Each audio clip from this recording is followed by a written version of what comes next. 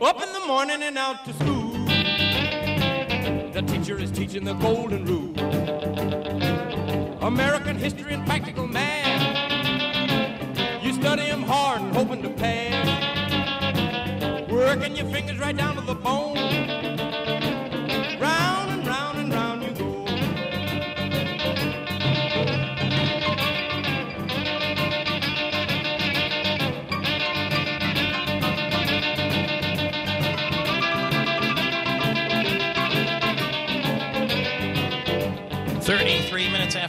Listening to Michael Patrick Shiels radio stations all across the state of Michigan, presented by Blue Cross Blue Shield of Michigan and Blue Care Network. The Detroit Free Press has analyzed 67 pledges Governor Rick Snyder made in his first three State of the State addresses and found 34% completed, 42% underway, and 24 largely incomplete or stalled. And uh, as you may know by now, the uh, this uh, Thursday is the governor's State of the State address on a re-election year. On the other end of our AT&T line, Senator John Proos, the Republican from St. Joseph. Nice to talk to you again.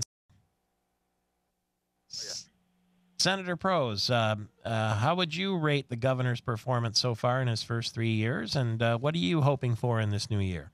Well, I think the governor has done a remarkable job of taking what was really just terrible news over the better part of a decade and it has helped to put Michigan back on the right track with the help of the legislature and with kind of common sense reforms that I think have put us in a better position, a better position to move forward.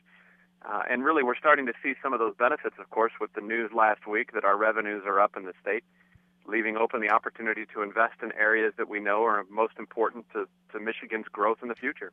What are we going to do with all that money? As I understand, we have something like 971 million uh, extra. Well, that's that's what we're understanding. That's beyond the revenue expectations, of course. Mhm. Now, that doesn't mean that we're out of the woods. There's still work to be done. I know in my Southwest Michigan district there are families that still struggle. Uh, so it's important for us to recognize that kind of our talent pipeline is important when it comes to our educational systems. That's why I'm focusing on career and technical education, uh, looking at areas that we can invest and see some benefit. And of course, roads is something that the governor has talked about. That's in process, according to those statistics, I think. Uh, we've we've got work to do in those areas also. We also have to make sure that we just don't spend it away. Make sure that we value the taxpayers who sent it to Lansing and recognize it's not our money first and foremost, but it's the taxpayers who pay it. Tell me specifically what you're up to when it comes to career and technical education. Well, I think one of the areas that, that we focus on in, in this particular uh, discussion on career and technical education is the, the recognition that not all of our students are destined for four year medical degrees or four year colleges where they head to med school afterwards or law school or otherwise.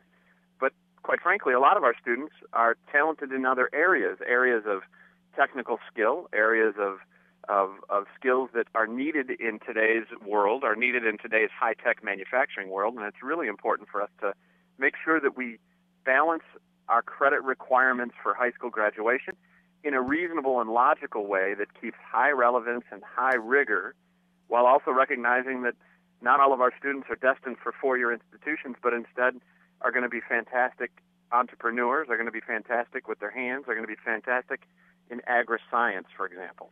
As somebody once said to me, college is a very expensive place to figure out what you want to do with your life. Uh, and absolutely. you know maybe that's as you say so uh, as i understand it now senate bill 66 would allow you to substitute like a pe class or uh, some sort of uh, class for something that you can actually actually tangibly learn to do Uh, That, that in part is is what we're talking about. I, I think, Michael Patrick, the most important thing that we're recognizing, though, is that our businesses that are looking for a talent pipeline are engaging in a better way with the help of this bill in coordinating with our school districts and our school kids to get into the classrooms and participate in those students' educational opportunities and allow a little bit of flexibility for the students themselves. You know, we have 1.5 million kids out there that deserve the very best chance to participate in where they can be of, of greatest value to the economy and to their futures. That's why we want to make sure that there's reasonable flexibility available. Delaney mckinley on the other end of our at&t line tuned with us here the director of human resource uh, policy at the michigan manufacturers association this i would imagine is music to your ears Absolutely. This is one of the most important things for Michigan's manufacturing sector. We think it's critical to the success of our sector, but also for the future of the state of Michigan as a whole. We need to make sure that there's a pipeline of skilled workers. But isn't it a scary thing to go into, given all the talk about how manufacturing is not coming back to Michigan and that the uh, sort of focus is shifting away from manufacturing? Actually, we're experiencing tremendous growth in Michigan's manufacturing Are we? sector. Yeah, absolutely. Since December 2009, we've created over 97,000 new jobs.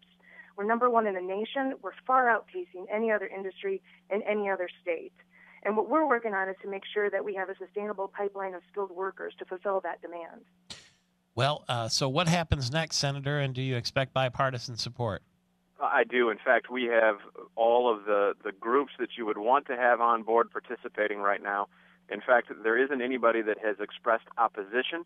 There's a few that we'd like to get to full blown support, but, but I think what's great about the work that we're doing right now is that it really is a Republican and Democrat effort together to recognize that, that our school kids are our future and that a proper and reasonable expectation of flexibility to make sure that they can reach that talent need in the manufacturing industry and other industries like agriculture is available. That's that's what I'm most excited about is that this really is working together with our colleagues on both sides of the aisle.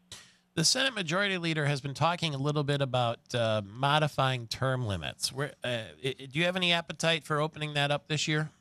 Well, I'll tell you, in an election year, it's always good to talk about the things that you'd like to do, and I think it sets the stage for future legislatures what's clear is, is no matter what we do, whether Senator Richardville's perspective is the one that we, we head down that path, I think that looking at term limits as well as part-time legislature, which I put a resolution in on, I think is a reasonable thing to talk about. I think we ought to look at what is best when nearly every other state, Michael Patrick, is a part-time state in some way, shape, or form. There's really only four states in the nation that are full-time. Would the part time status change the amount of money uh, that you and the members of the House make too? Yeah, you bet it would. Yeah, for sure. Hmm. Uh, and I think that that's a reasonable thing to look at. You know, reforms aren't easy. There's going to be people on both sides of the equation that, that like or dislike what you're talking about. But it seems to me that part time, uh, as well as a change in term limits, would be a reasonable thing to talk about. My guess is, though, is that it, it, it probably doesn't have the legs to get through this year it would be something we'd have to focus on in future legislatures, and it certainly couldn't apply to us.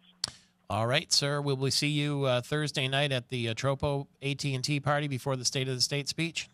I'll be coming with the sheriff of St. Joseph County for a few minutes on our way over to the Capitol. All right, then we will see you there for sure. Thank you very much. It's a big week in uh, Michigan and a big week in Detroit, too, with the North American International Auto Show.